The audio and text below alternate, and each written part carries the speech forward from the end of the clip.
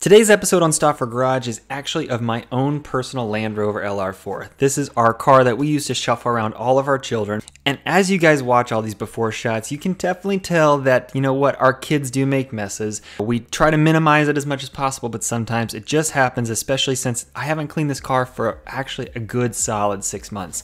I've been working on everybody else's cars but my own personal car, which, you know what, it happens but I want you guys to follow along with me as I clean my own personal vehicle and go to some extreme ends to make this thing look like brand new again.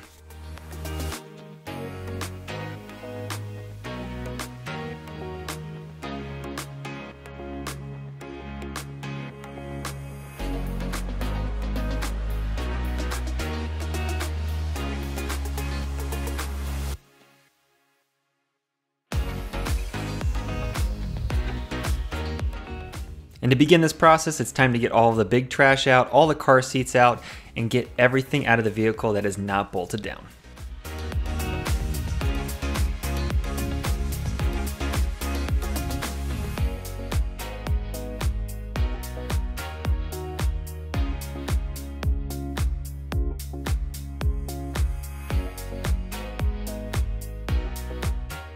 In typical Stauffer Garage fashion, it's time to rip out the middle and the front seats to give us access to everything that is hiding underneath them.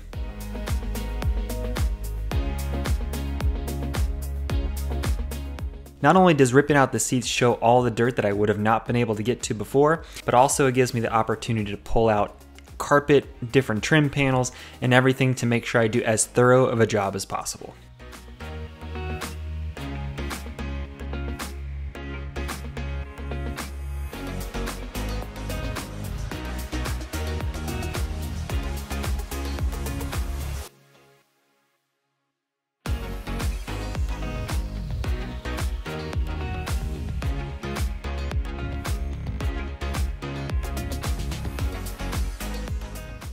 Need you guys to comments below. Have you ever pulled the carpet or seats out of your vehicle before? If you have, comment down below and let me know. And if you just think I'm plain old crazy, let me know in the comments below as well.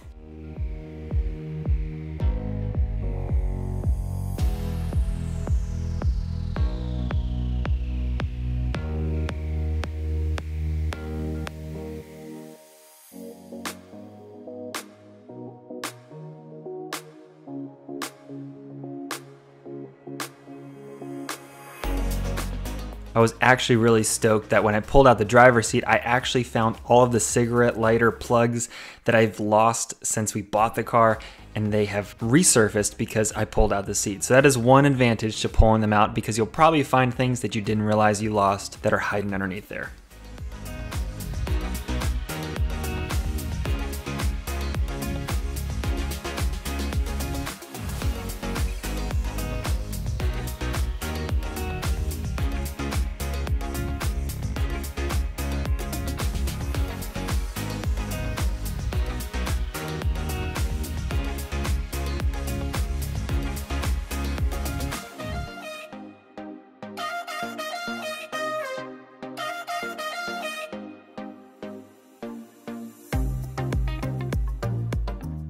Now, this sort of level of detail of removing the seats and the carpets and things like that, I would not obviously think that everybody has to do this every single time they clean their car.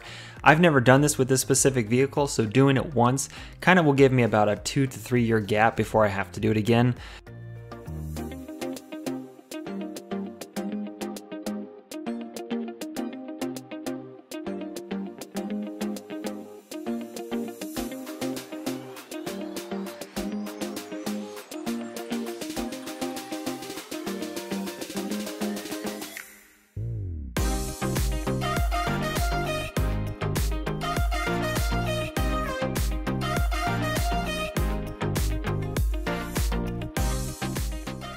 One interesting thing about the carpet in this vehicle is that it actually sheds. It's kind of a weird thing, like as the kids climb in and out, especially these middle seats when they're folded down. But by just using my Lilly brush, it does make the carpet look better because it took out all of those loose strands that were on the surface.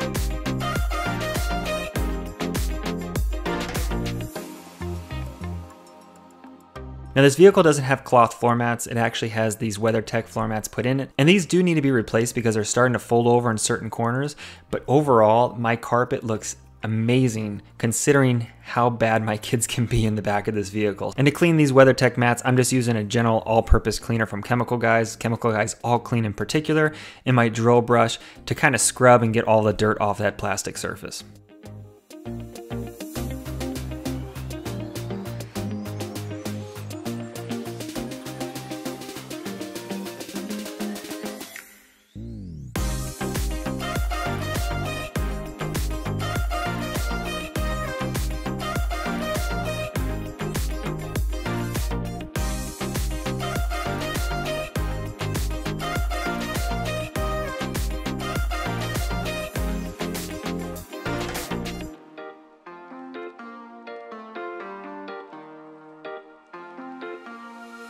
Bye.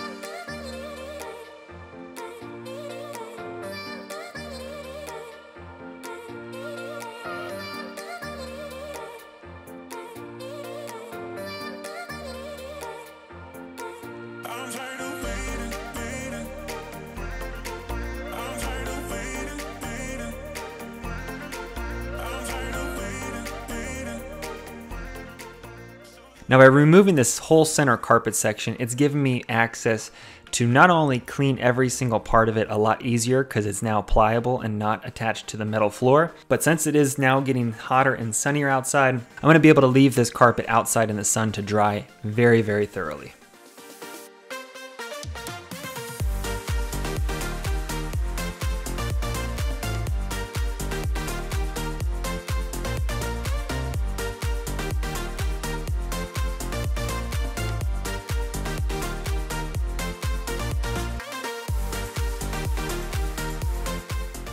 As you're watching this video, if you have any questions about what products I use, I always link them in the description box below, so feel free to check those out and pick up the products that I use in this video.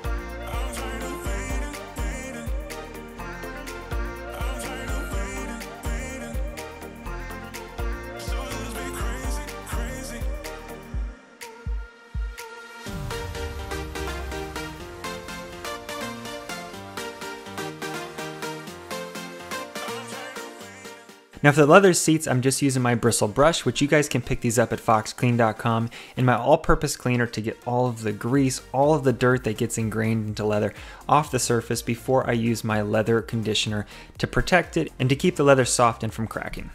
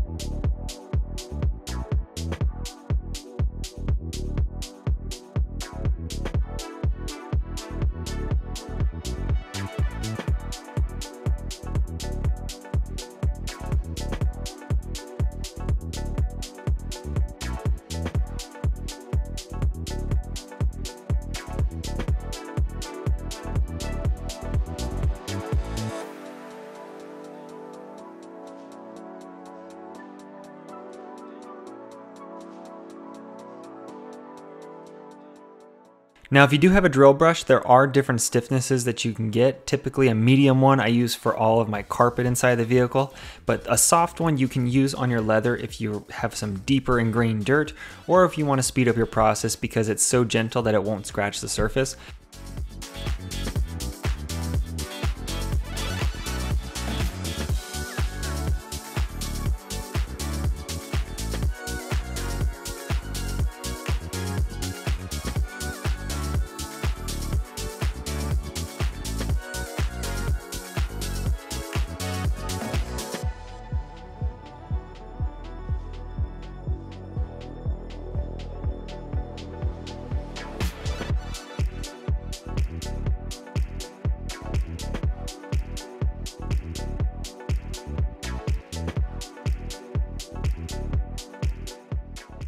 For the steering wheel and the dashboard, this is where these bristle brushes come in handy, especially with all the different nooks and crannies.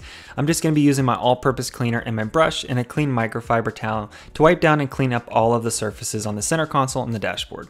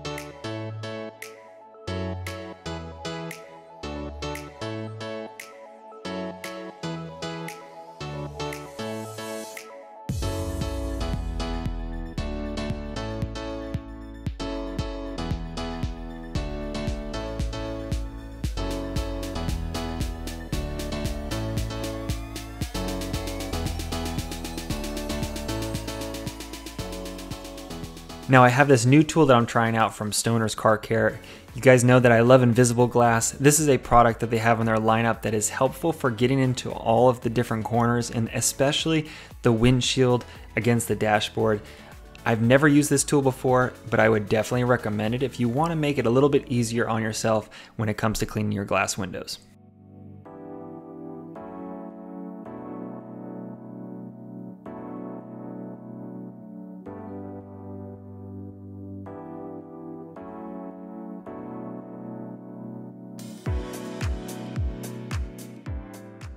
Now that the whole front of the car is done, I'm going to go ahead and deep clean all the door panels and clean the glass as well.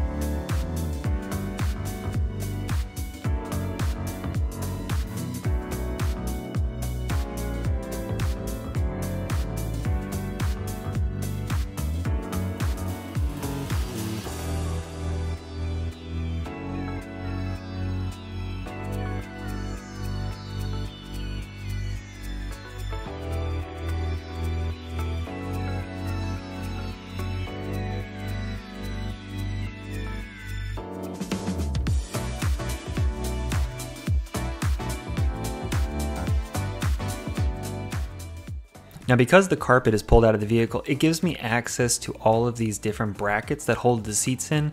And since I do have children that have spilt food and drinks and things like that in between these corners, this gives me a perfect opportunity to scrub the floor and remove any of that grease and dirt and candy and food or whatever is collected there while the carpet's out.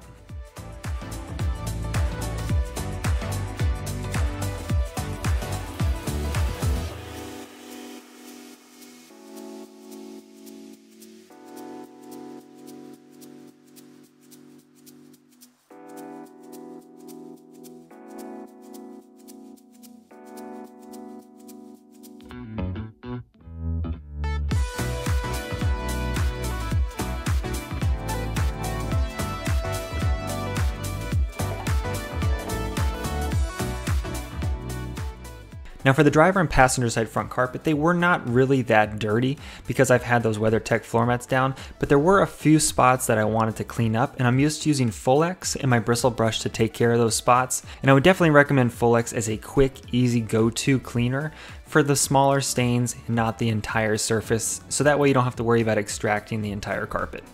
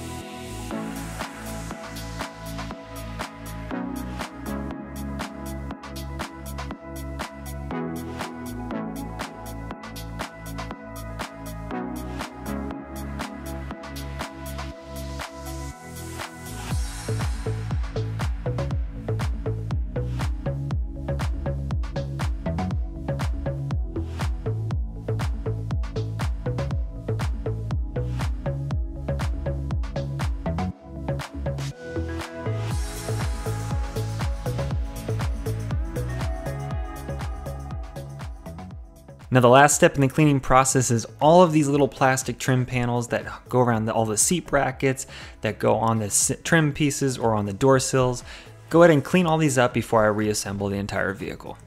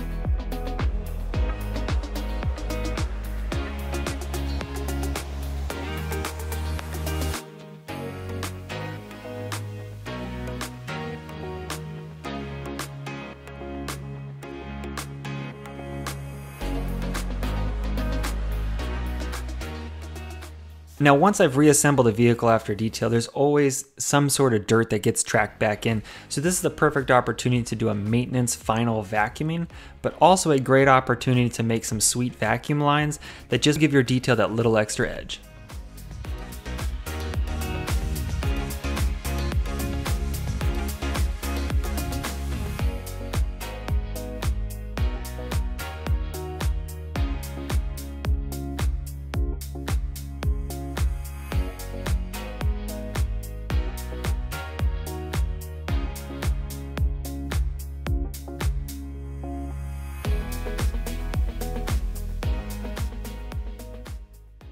And here are the end results of my personal vehicle. I can guarantee that I am going to maximize how long the car looks like this, which inevitably will probably end up back the way it is, sadly, because you know what, that's how kids are sometimes.